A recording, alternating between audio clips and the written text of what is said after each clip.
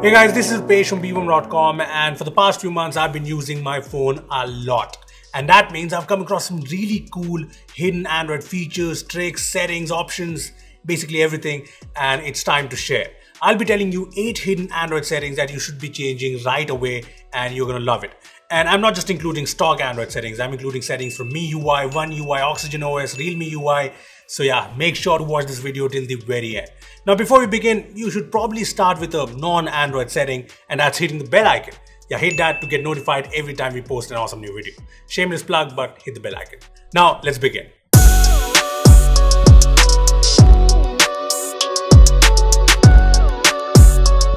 Now first up is a super cool Android setting that I honestly did not even know that it existed. I'm talking about an option that disables all of the sensors in your phone with just a single tap be it the usual sensors like proximity or light sensor or the camera or the microphone.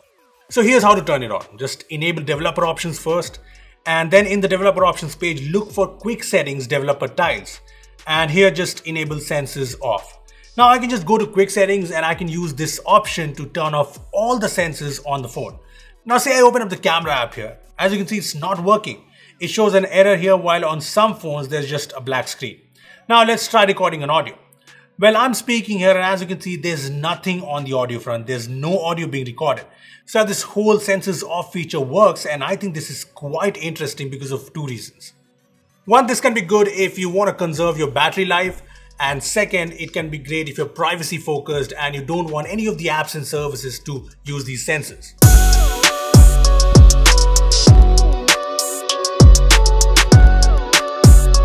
So live caption is a feature that I remember Google announcing with Android 10 and I thought it was super cool, but it was Pixel 4 exclusive back then. However, it has started rolling out to more phones recently and I think it's an Android setting that you must know. So enabling it is pretty simple. You can turn it on from the quick settings page or you'll find it in the settings page. So make sure to search for live caption in settings. Now once you've enabled it, just play any video in any app. For example, say you're scrolling on Facebook, you don't really need to turn up the volume because the live caption feature will automatically capture the audio and transcribe it into caption in real time and show it like this. Yeah, this is quite an interesting feature. Anyway, so far I've only seen the live caption feature in stock Android, One UI 2.5, Oxygen OS. So phones with other skins will have to wait a bit, but it should arrive soon.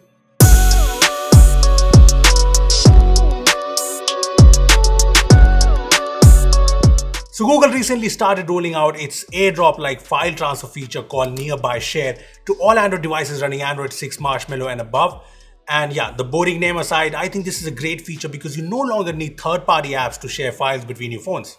So to enable it, all you need to do is go to quick settings, edit the tiles and check if you have a nearby share tile here.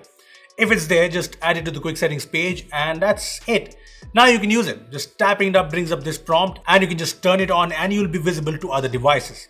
Now if you want to send a file using Nearby Share, you'll find the Nearby Share option in the share sheet. So just tap it, after which it'll look for devices with Nearby Share turned on. Now you can just select the device you want to send the file to and that's it. It's sent and yeah, it's super handy because Android finally has a native file transfer feature.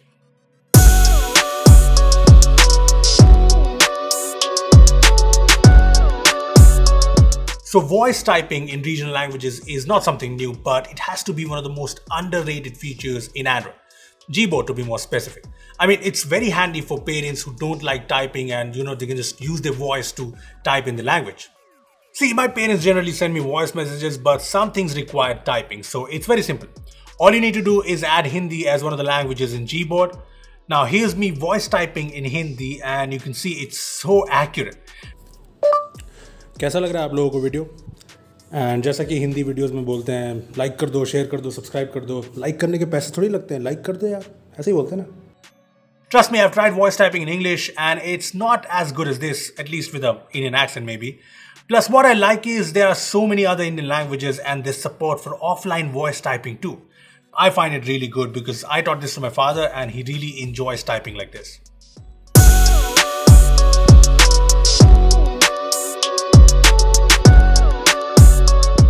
So one area where Android kind of lags behind iOS is on the whole ecosystem front.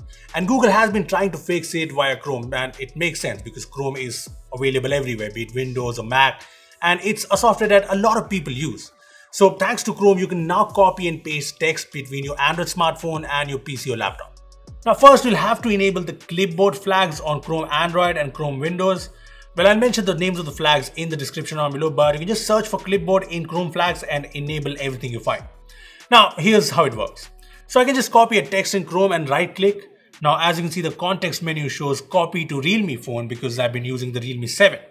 Now I can just use this and my phone will get a notification of the text copy. And I can just go ahead and paste the text. Now this also works the other way. I can just share a text on Chrome on my phone to my laptop and then paste it on my MacBook. It's very seamless. Now those were some Android specific options, but I also have some cool Android settings for MIUI, One UI and Realme UI. First, let's start with MIUI.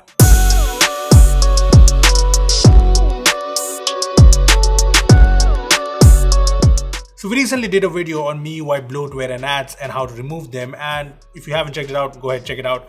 And a lot of you were asking, how did I get the Google Discover page on the Redmi Note 9 I was using? I mean, I get it, the app vault page isn't something that everyone finds handy. And MIUI users have been asking for the Google page in MIUI launcher since forever. Well, the good news is that the MIUI 12 update in India brings the Google Discover page in the MIUI launcher. As you can see in the launcher settings of the Note 9 running MIUI 12, there is a minus one screen option that you can use to switch to the Google Discover page from App Vault. So make sure to use this setting whenever you update your phone to MIUI 12.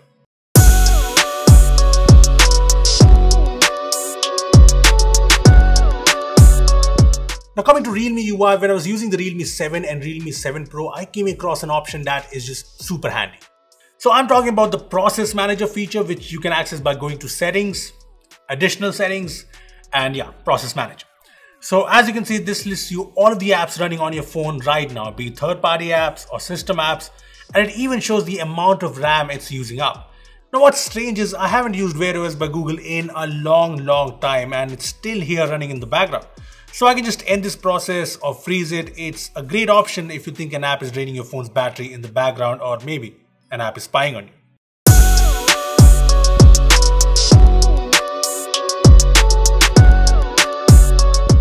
So when you're gaming and you get a call and you get it in this pop-up like window up top on most phones, but the problem is the moment you accept the call, you go full screen with the phone app, which is annoying because now you have to manually switch back to the game and only then the call UI will turn into a pop-up. But this is where a One UI option is great.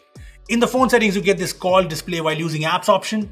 Here in the bottom, there's a keep calls in pop-up option, which makes sure that even when you answer a call, say while gaming, it will remain in the pop-up and not go full screen. So how cool is that?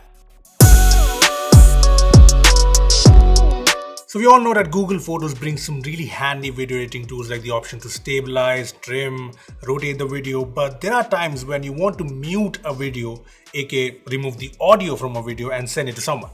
Well, Google Photos lets you do that as well. Pretty easily I must say. So it's pretty simple. Just open up a video in Google Photos, hit the edit button. And now you can see the speaker icon here, right? Just tap on it and that's it. The audio from the video has been removed. Now you can just save the copy of the video and it'll be without any sound and yeah, you can send it to anyone you want. How cool is that? Well, those are some really cool hidden Android settings that you should be definitely trying. And I think this is a great list. And if you think that too, make sure to like this video, make sure to share it. But yeah, make sure to like it. Anyway, my favorite option in this whole list is the disable sensors option, but what's yours? Tell us in the comment section below and subscribe to our channel for more amazing tech videos. Well, that's me signing off. Thanks for watching and I will see you in the next one.